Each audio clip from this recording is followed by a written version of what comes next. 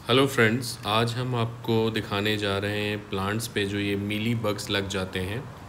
उनको आप किस तरीके से उनका ट्रीटमेंट कर सकते हैं, उनको रिमूव कर सकते हैं। देखिए, आप ये वाइट वाइट जो हैं, ये मीली बग्स हैं, जो कि धीरे धीरे प्लांट को ख़त्म करते हैं, इनको खा जाते हैं और उनका न्यूट्रिशन सारा ले लेते हैं।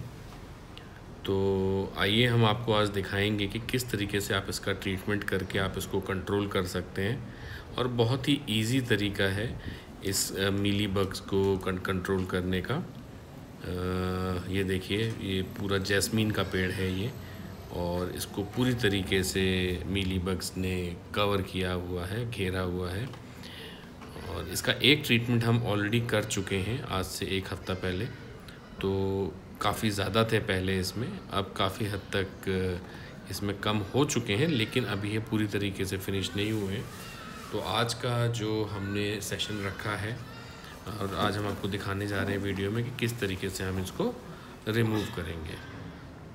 ये देखिए आप, मिली बग्स काफ़ी डीपली इन मिली बग्स ने जैस्मीन के प्लांट को कवर किया हुआ है। ये देखिए आप इस पर जगह जगह पे वाइट वाइट मिली बग्स जो हैं, और ये अंडे छोड़ते हैं अपने, जिसकी वजह से बहुत जल्दी मल्टीप्लाई होते हैं।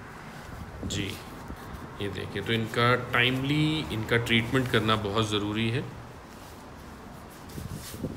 और ट्रीटमेंट इनका बहुत आसान है। किस तरीके से इसका ट्रीटमेंट किया जाएगा, वो हम आपको आज दिखाएँगे। तो चलिए ये देखिए, ये हमारा जो है, ये प्रेशर स्प्रेयर है। इस प्रेशर स्प्रेयर से हम इसको स्प्रे करेंगे और इसके लिए हमें चाहिए पहले तो लिक्विड सोप कोई भी लिक्विड सोप आप ले सकते हैं। नॉर्मली जो हम घरों में यूज़ करते हैं अपने टॉयलेट्स में हैंड क्लीन करने के लिए।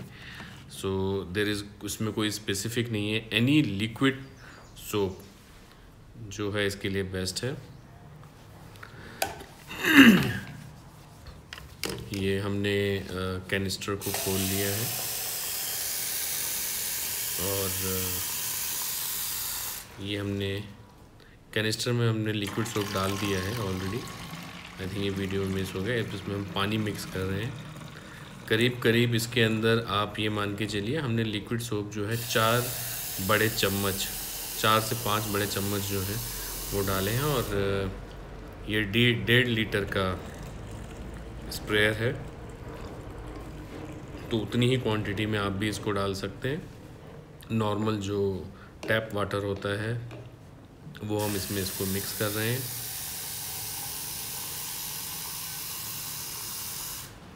ये इसके अंदर हमने इसको मिक्स किया।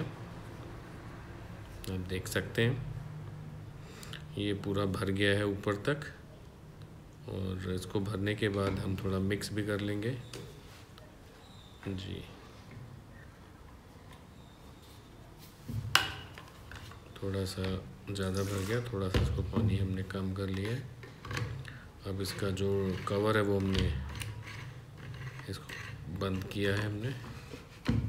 थोड़ा कस के बंद किया जाता है और ये इसको पंप करके हम इसका एयर प्रेशर क्रिएट कर रहे हैं ताकि इसमें वैक्यूम क्रिएट हो जाए और स्प्रे करने के टाइम पे अच्छा स्प्रे हो सके। इसके अंदर हमने सिर्फ़ पानी और लिक्विड सोप दो चीज़ें हमने इसमें मिलाई हैं।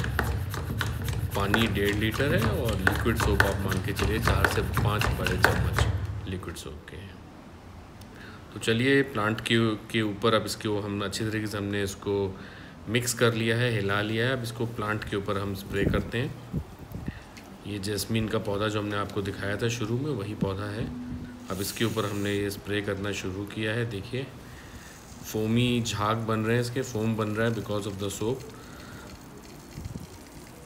और पूरे प्लांट में हम ऊपर से नीचे की ओर करेंगे बिकॉज़ जो इसका स्प्रे का जो इफ़ेक्ट आता है बिकॉज़ सोप ऊपर से नीचे की ओर जाता है तो हमेशा आप ऊपर से स्प्रे करते हुए नीचे की तरफ़ आइए और इसको आपको दोनों तीनों तरफ़ से प्लांट ताकि प्लांट पूरी तरीके से कवर हो जाए। अभी ये प्लांट हमने, एक प्लांट हमने आपको दिखाया जिसके ऊपर हम स्प्रे कर रहे हैं। थोड़ा मिट्टी में भी स्प्रे कर देना चाहिए, क्योंकि मिट्टी में जब ये मीली बग्स गिरते हैं तो स्प्रे में सोप का जो इसमें जो कंसनट्रेट होता है, वो उसको वहीं पे ख़त्म कर देता है। और अभी हम थोड़ी देर में हम आपको दूसरे प्लांट में भी दिखाएँगे, जिसमें बड़े बड़े लीव्स लगे हुए हैं। उसका ट्रीटमेंट किस तरीके से करना है, वो थोड़ा सा अलग रहेगा। वो आपको समझने की ज़रूरत है। तो इस पर हमने जो है पूरा स्प्रे किया, ये देखिए।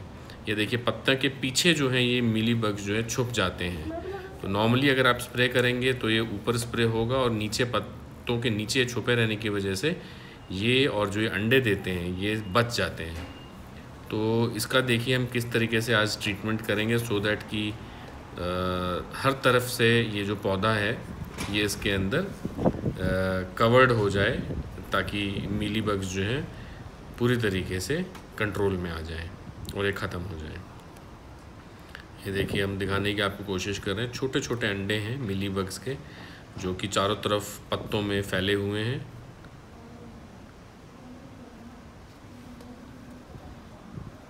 ये भी जैस्मीन का ही पेड़ है। ये देखिए, मिली बग्स। चलिए, अब इसका ट्रीटमेंट हम शुरू करते हैं। ये देखिए, पत्तों के पीछे आपको स्प्रे करना बहुत ज़रूरी है। आगे तो आप नॉर्मली करेंगे ही करेंगे जो आप टोटल स्प्रे करेंगे बट पत्तों के पीछे जहाँ पे मिली बग्स छुपे हुए हैं, उनको आपको पत्तों को टर्न करके उठा के और वहाँ पे स्प्रे करके इनको मारना है, तभी ये पूरी तरीके से ख़त्म हो पाएँगे। और ध्यान रखने वाली बात यह कि एक स्प्रे में नहीं ख़त्म होते हैं, इसके लिए कम से कम आपको तीन से चार स्प्रे करने पड़ेंगे, यानी कि हफ़्ते में आप मान के चलिए दो बारी, एक महीने तक ये स्प्रे आपका रहेगा और ये कम्प्लीटली पूरी तरीके से मिली बग्स जो है, ख़त्म हो जाएँगे। उसके बाद आप चाहें तो तीन से छः महीने के बीच में कभी कभी जब भी आपको लगे, आप स्प्रे मारते रहिए, स्प्रे करते रहिए, इससे कोई नुकसान नहीं होता पौधे को और पौधा स्वच्छ रहता है और कोई भी दूसरे तरीके के जो कीटाणु हैं या और तरीके के जो पेस्ट हैं, इससे बचे रहते हैं। ये देखिए, हमने लास्ट में जो हमने दिखाया था, ये देखिए, जो फोम है इसका लिक्विड सोप का, इसने पूरी तरीके से प्लांट को कवर कर लिया है। तो जो भी मिली बग्स रह गए होंगे, वो भी इसके पूरी तरीके से इसके कंट्रोल में आ जाएँगे। और इसको हमें ऐसे ही छोड़ देना है। शाम के टाइम हमने इसको किया है तो उसको पूरी रात का टाइम मिलेगा। और बिकॉज़ दिन में, सूरज में इसमें मत करिएगा, धूप में इसको ना करें। बिकॉज़ धूप से साबुन और जो है कास्टिक जो इसमें होता है, उससे पेड़ के जलने का डर रहता है। तो हमेशा ध्यान रखिए कि स्प्रे जब भी करें, शाम को करें, ताकि पौधे को पूरी रात का टाइम मिले। और वो कीड़ों को मार भी सके और पेड़ जो है वो खुद भी स्वस्थ रहे। जी, धन्यवाद।